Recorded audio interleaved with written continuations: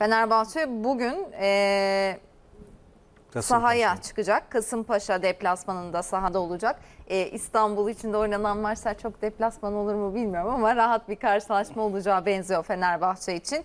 E, bir manşetleri getirelim ekrana.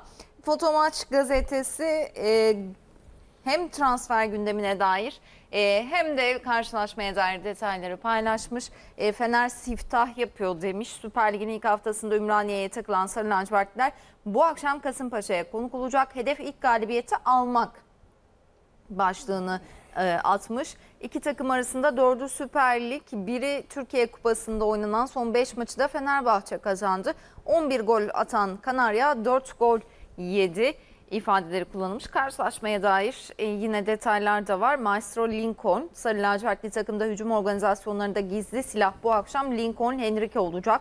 Slovaskaya Kadıköy'de uzak mesafeden attığı iki golle yıldızlaşan Brezilya oyuncu frikiklerde yine topun başına e, gelecek. E, bu akşam nasıl bir karşılaşma bekliyorsunuz? Aynı zamanda hemen o Maestro Lincoln haberi üzerinden de sorayım. Bu takımın lideri, saha içindeki lideri Lincoln müdür? Yani Lincoln olduğunu düşünmüyorum. Daha Lincoln liderlik e, özelliği taşıyacak bir performans ortaya koymadı. Yani bakıldığı zaman e, tabii şimdi geçen haftaki son dakikada gelen beraberlik golü e, ve e, arkasından yaşanan tartışmalar e, özellikle işte golcü transferine dair hafta boyunca birçok futbolcunun isminin çıkması bir yandan da işte 3 gol atan Fenerbahçe aslında gol de atıyor kardeşim. Yani ne golcüsüne gerek var gibisinden de yorumlar. Ee, ya bir zor bir maç. Yani Kasımpaşa lige iyi başlamadı ama e, tabii Fenerbahçe'nin hep söyle Kasımpaşa biraz öyle geçiriyor Evet. sezonları. Ligin Ya, ikinci evet. yarısı açılan. yani evet transferler falan Evet. yapıyor arada. Ondan sonra bir gaza basıyor. Ee, Fenerbahçe e, tabii şimdi Avusturya Viyen maçı öncesi bir kere bir kazanmak, bir, bir, bir moral. E, bir ligde ilk defa bir 3 puanla e, tanışmak açısından bakıldığı zaman önemli bir şey. Yani belki biraz kadro kadroları bir şey yapabiliriz. Evet, ne bileyim mesela 11'imizi sahaya e, e, foto maçtaki 11'e, fanatik'teki 11'e, ne bileyim sabahta bir bakalım aynı mı 11'ler diye merak ediyorum Hemen ben. foto maçtaki 11'e bakalım. E, Altay Kaleci, Osayi, e, Perez, Zalai, Ferdi e, savunma. Hatta Arao, Zayt, Rossi, Lincoln, Emre Mor ve Valencia 11 ile sahada olmasını bekliyor Foto Maç gazetesi. E, Fanatik gazetesi e, Altay Kaleci, Osay Samuel, Gustavo, Zalai e, ve Ferdi savunma hattı. Arao, Crespo, Emre Mor, Arda ya da Rossi, Serdar Dursun, Valencia. Mesela orada Arda'yı koymuşlar o Evet, 11'e Arda'yı ama 11'e parantez içinde koymuşlar. de Rossi. Rossi. Orada da e, Crespo sahada, Zayt yok. E, Sabah Yani, gazetesinde de hemen bakalım. Sabah gazetesi de e, Altay Kalede, Osay Samuel, Luan Perez, Zalai ve Ferdi dörtlüsü yapmış savunmayı. Arao Zayt, e, Emre Mor, Lincoln, Joshua King, Valencia. Mesela ilk saydı- gazetesi de İlk King'den King'de, vazgeçmemiş. evet, yani King o var. Diğer kadrolarda yoktu. Evet. Tabii 7-8 kişi hemen hemen e, onlar bir belirli bir biliniyor ama sonuçta bir 3-4 kişi e, farklı isimler yer alabiliyor. Ya e, şimdi tartışmalara, eleştirilere nokta koymak için yani bakıldığı zaman klasik tabiriyle Fenerbahçe'nin şu maçtan 3 puanı alması lazım. Yani aksi bir sonuç çünkü şeyleri e, depremleri, sallantıları çok büyük oluyor. Yani bu Fenerbahçe'de diğer takımlara göre daha büyük bir şekilde e, yaşanıyor. Bunun e, bozukluğu ya da stresi, gerilimi. Çünkü beklenti büyük.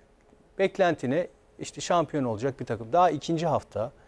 Bana göre e, Jorge Jesus'a da biraz zaman vermek lazım. Bu kadar çok oyuncunun, farklı farklı oyuncuların geldiği bir takıma da biraz zaman vermek lazım. Ama bu zamanı ve İşte krediyi bu verecek takımın yeniden oluşturulması çok mu gerekliydi diye ya de bu bu yani. yani bu tartışıl, tartışılır ama e, hoca bu. Yani hoca gelmiş siz ona yetki vermişsiniz. ikna etmişsiniz, getirmişsiniz. Çok da büyük bir e, rakam vermişsiniz. Bir yıllık sözleşme yapmışsınız ve kendisine şampiyonluktan başka da bir beklentimiz yok. Ona göre bizim bize böyle yap demişsiniz. O da bu, bu istediklerini yapıyor. Yani mesela şurada İsmail Kartal Evet, kırgın şimdi. değilim diye bir kutu var. Onu okuyabiliriz Hemen mesela. okuyalım. Ee, yine Fotomaç gazetesinin Uzun 7. zamandır konuşmuyordu bu arada. İsmail Kartal Fenerbahçe'de görevi Jesus'a devreden İsmail Kartal kırgın olmadığını e, açıkladı. İlk kez konuşan Kartal ben görevimi yaptım bıraktım. Oynattığımız futbol aldığımız puanlar ortada. Büyük Fenerbahçe taraftarına borcumuzu ödedik. Kimseye kırgınlığım yok ifadelerini kullandı. Kartal Fenerbahçe konusunda şu an bir beklentisi olmadığını bir iki takımla görüştüğünü belirtti. Jesus'un Arda Güler'e az şans vermesi için de Arda yetenekli bir oyuncu ama bazı eksikleri var. Herhalde hoca da o eksikleri gördü oynatmıyor yavaş yavaş oynatacaktır açıklamasını yapmış İsmail Kartal. Ee, Fenerbahçe'ye dair herhangi bir beklentisinin olmadığını e, kırgınlığının olmadığını ifade etmiş. E, Arda'ya sonra geçelim. Ama kırgın değilim sözlerini nasıl değerlendiriyorsunuz? Yani kırgındır. Orada çok şey olduğunu ben düşünmüyorum. Yani e, samimi olduğunu düşünmüyorum. Yani kırgındır. Niye kırgın olmasın ki? Yani siz almışsınız takımı. E, Atlardan e, sizin aldığınız günlerde tribünlerde isyan doruk noktasında. E, Sayın Başkan Ali Koç'a tepkiler var. Yönetime tepkiler var. istifa davetleri var. Almışsınız takımı ikinci sıraya taşımışsınız. Şampiyonlar Ligi ön elemelerine katılmasına hak kazandırmışsınız. Seri galibiyetler yakalamışsınız. İşte Crespo, Zeiss e, gibi e, oyunculardan üstün performanslar almışsınız. Serdar e, aynı şekilde goller atmaya başlamış. Ve bu takımda devam etmeyi umarken e, size teşekkür edilmiş, plaket verilmiş ve e, şey olmuş. E, işte Jorge Jesus getirilmiş. E şimdi insan kırgın olmaz mı ya? Yani ne kırgın değilim ne? Kırgınsınız yani. Bana göre kırgın. Ama e, kırgın değilim açıklama. Orada bir mesela satır aralarında diyor ki ben iyi top oynattım. Ya bunu hep vurguluyor. Bütün açıklamalarında bu var. Fenerbahçe'ye e, borcumuzu ben görevi ödedik, ben evet. görevimi iyi yaptım diyor. Haksız da Ee, değil. mi? ama bir dönem yani bunun üzerine de çok konuşmamak lazım. Yani şimdi Fenerbahçe'nin de en büyük şeyi bence hatalarından biri. Bunu Galatasaray'a geldiğimizde birazdan Galatasaray teknik direktörleriyle ilgili de diyeceğim. Yani şimdi Jorge Jesus yok 2-3 hafta kötü olur da 5 hafta kötü olur da yine İsmail Kartal'a görev gelir de bunlar bile konuşuluyor da yani bunlara böyle şeyler hiç girmemek lazım. Sonuçta bu adam geldi 11-12 tane transfer yaptırdı. Evet eleştirilecek noktaları var mı var. E, ama e, yani kariyeriyle ilgili ne, ne diyebiliriz, ne eleştirebiliriz? Yani şimdi şunu da demeyelim yani İsmail Hoca e, kalsa mıydı? Evet kalabilirdi ama başkan istemedi. Gitti en iyisini getirdi bu sefer. En iyi hocayı getirdi. En prestijli hocayı getirdi. Kariyerli hocayı getirdi ve onun yapacaklarını da beklemek lazım. Yani burada sabırlı olmak lazım bana göre. Yani bir iki maçtaki beraberlikle ya da olumsuz sonuçla siz e, karalar bağlayıp dibi görürseniz zaten Fenerbahçe iyi sonu iyi topta oynayamaz. Yani iyi oyuncuları da olsa oynayamaz. E, ama bir bir golcü transferi işte var bunlara Hemen geçelim. onun başlıklarına Her bakalım. gazetede var, sıradan Her gidelim. gazetede Evet. e, bu habere yer verilmiş. Fotomaç gazetesi e, çok yakın Gomez diyor. Uruguaylı golcü için görüşmeler ileri düzeye taşındı. E, Fanatik gazetesi Gomez'de mutlu son yakın demiş. E, Batshuayi ile anlaşma sağlanmama, sağlanmasına rağmen Maxi Gomez için son bir girişimde bulunan Fenerbahçe sonuç almaya çok yakın. E, Valencia'nın 8 milyon euro bonus ve sonraki satıştan %20 pay içeren teklifine sıcak baktığı belirtilmiş. E, Sabah gazetesi varsa yoksa golcü başlığını atmış Volkan Demir imzalı haberde Fenerbahçe'nin gündeminde Portekiz'den iki yeni isim var. Batshuayi ve Abubakar'da engeller aşılamadı. Gomez için yeniden hamle yapıldı. Listedeki yeni isimlerse Fran Navarro ve Mehdi Tarami demiş. Orada küçük Hull City Perkas Perkas, gidiyor. Onu evet. da evet e, anlaşmışlar herhalde.